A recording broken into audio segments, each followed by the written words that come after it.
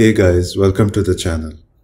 In this video, we're going to deep dive into the advantages of ECS in software design compared to the standard object-oriented programming pattern. The first advantage is we are separating data from its behavior. On the left, we have the player class. All the data of the player is stored in the player class. One such field is the player name. And we can have multiple other fields like player speed, health, etc.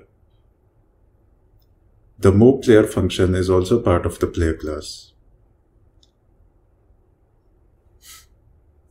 How this would work in object-oriented programming is, we would create an instance of the player class with all its data like name, and then using that instance we would call the move player method. So we can see that the data, that is player name, and its behavior, the move player method, are tightly coupled with each other, both part of the same class. On the right, we have implemented the same functionality using Bevy. We have a player component which maintains the data and the move player system which implements the game mechanics or player movement behavior. Both of them can be defined on their own. The player component has no idea what all systems would be using it. We can easily add any system which utilizes the player component.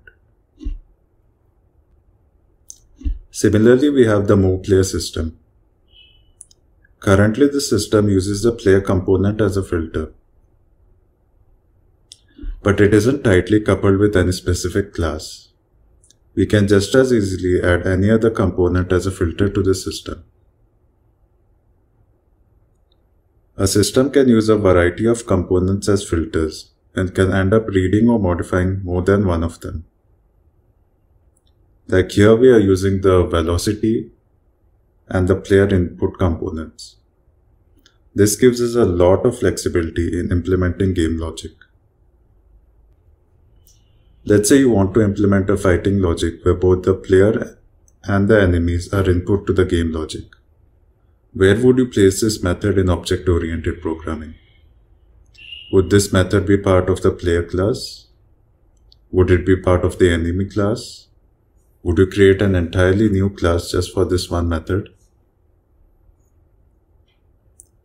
In Bevy, we can just create a new system with the player and enemy components in the query. It's that simple. Next, we move to reusability. We have two classes here, the player class and the enemy class. The player class with its own set of properties and the enemy class with its own set of properties. We want to implement a health regeneration functionality which you commonly see in first-person shooters, where if you lose your health, you would regain it after some time has passed. One way of implementing this is that each class has its own health regeneration method and a custom logic based on it. Here the player class and the enemy class both have their own method which do the same thing. This leads to code duplication. Another option is to create a health generation class but we would still need to know whose health we are increasing, the player's health or the enemy's health.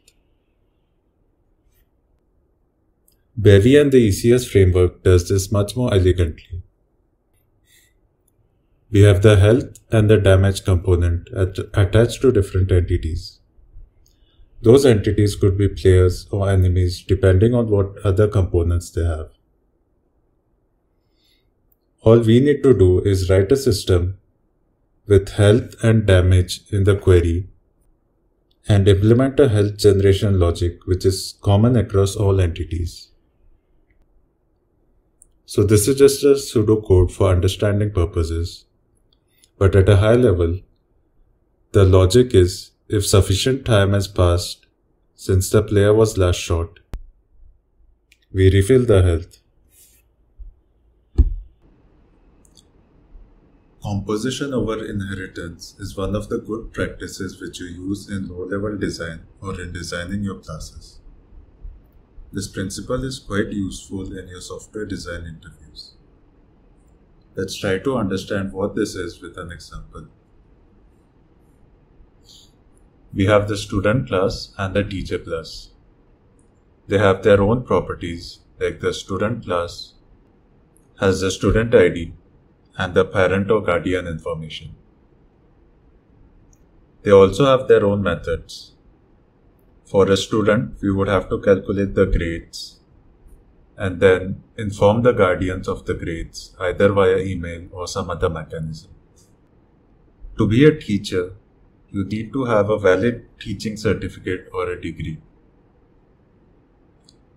We can have a method to validate the certificate information and the teacher class also has a method to output the subjects taught by this particular teacher. Now we have teaching assistants. How would you implement this class? The teaching assistant in universities are usually students who have done the course before, so they would have a valid student ID. We would also need the subjects taught method from the teacher class to know what all courses the teaching assistant is part of. But the teaching assistant does not need to have a valid teaching certificate. If we inherit from both the classes, we unnecessarily end up having methods we do not need. The more you inherit, the more baggage you bring with you. This example is just for two classes and we already have problems. This can get much more complicated if we have many more classes. Composition over inheritance is basically instead of inheriting, you create a class which has the supposedly parent classes as fields of it to solve the inheritance problem. So instead of inheriting from student and teacher, the teaching assistant class would have a student property and a teacher property or field. But Bevy takes this one step further. How Bevy solves this is we try to create components which are as small as possible. Instead of a student component which has grades and guardian information, we just create a grade component and a guardian component separately. We can attach the grades component to both students and teaching assistants. The guardian component, we can attach it only to the students and not teaching assistants. Since our systems implement a specific functionality and only depend on queries which it uses, we do not have to worry about the extra baggage. We do not have to worry about certain fields leaking into business logic where it's not needed. You can go through the list of advantages mentioned below.